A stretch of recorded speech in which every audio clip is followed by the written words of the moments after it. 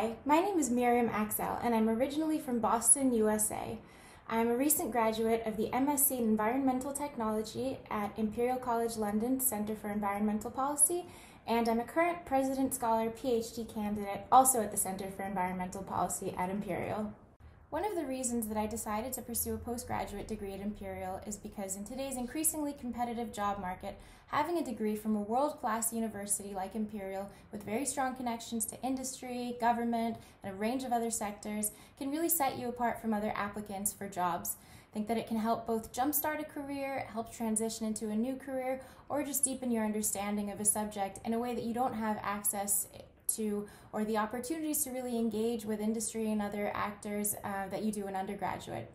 In my case, I used it as a jumping off point to do a PhD, and this was really great preparation. I found that the master's degree uh, really helped prepare me for research, and I noticed that in my case, I felt that undergraduate was a bit of a process of really learning how to learn, whereas during the master's, things finally started coming together. There was a lot more group work, um, and I felt it was much more of a hands on approach that I really appreciated. In terms of the application process, it can be a big challenge to try to present yourself in a couple of pages, explain who you are, where you're from, what your aspirations and goals are, and your reason for applying to this course. And I guess my advice for that is first try to start as early as possible. I think it really helps to speak to people, people who are either on the course that you're interested in pursuing, potentially professors, and other students who have gone through the application process.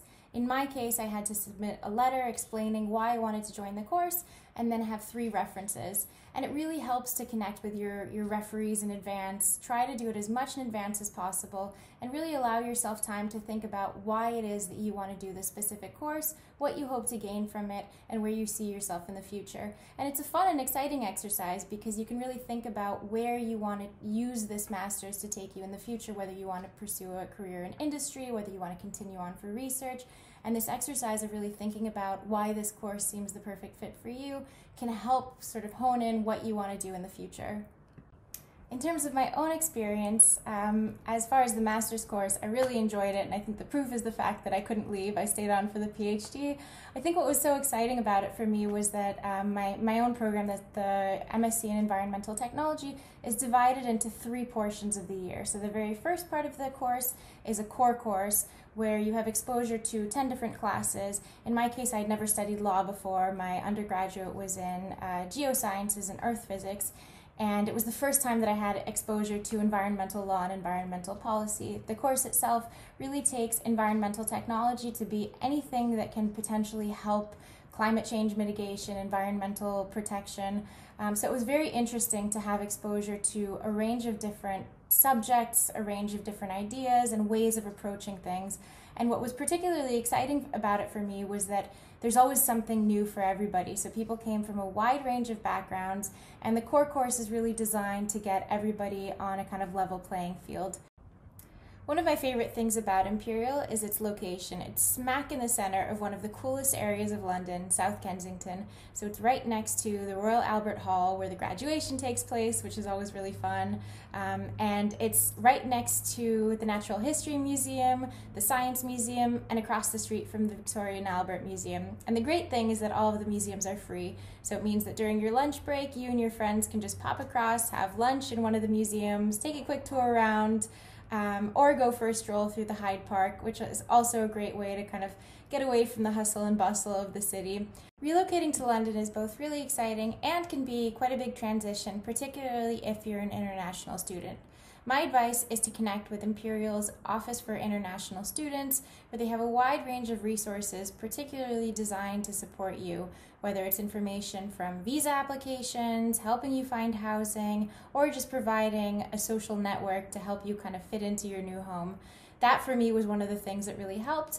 And the housing office as well can help you find the perfect place to live one of the things that I'm incredibly grateful for at Imperial is the high degree of support, both from a university level and down to my department and my supervisor and my cohort, particularly in the context of the COVID 19 pandemic. We've been receiving weekly emails updating us on the public health situation and the campus's response to that as well as updates from within our department and how changes are being implemented, uh, and then as well as updates from our supervisors and our research groups or the master's courses.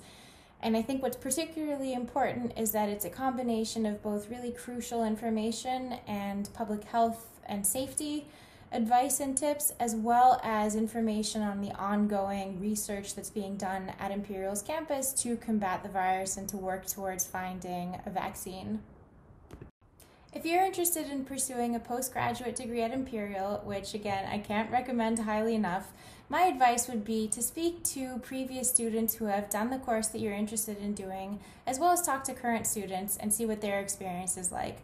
I would also recommend reaching out to professors who are either within the department that you're interested in being placed in or in a related field to see how your interests might align with the potential course that you're looking at.